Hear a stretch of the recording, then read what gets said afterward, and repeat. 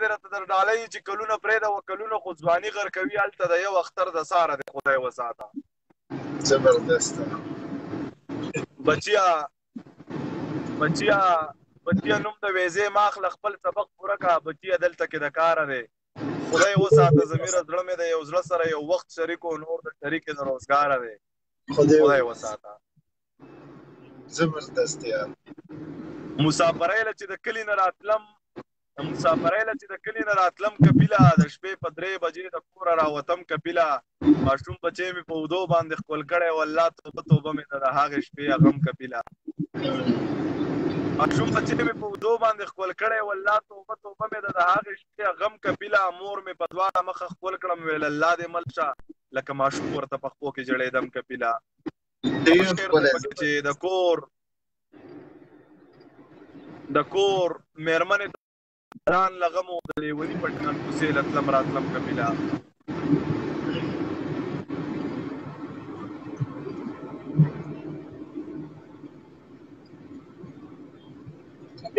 زما د خوږ زړګي قرار مسافرۍ له لاړو زما د سپینې ګیرې یار مسافرۍ له لاړو بچیا زه سکول ته زه خو بیا د وخت راځه بچي او واستې ګور افطار مسافر ای لاړو صحیح خويندې دې خويندې دې راغللې ته پوس یې کول اړه مو څه شو خويندې دې راغللې ته پوس یې کول اړه مو څه شو ما ورته وویل هغه خوار مسافر ای لاړو یې قرضداریا دروازه مو خدر به یې کو سړی مو نشته سړی سار مسافر ای لاړو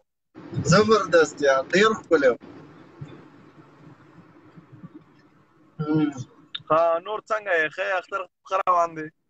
ویم که نه چې په دې سر دغه شان لاس مې ښو دی او بس تا تا راته ویلی او ما اورېدی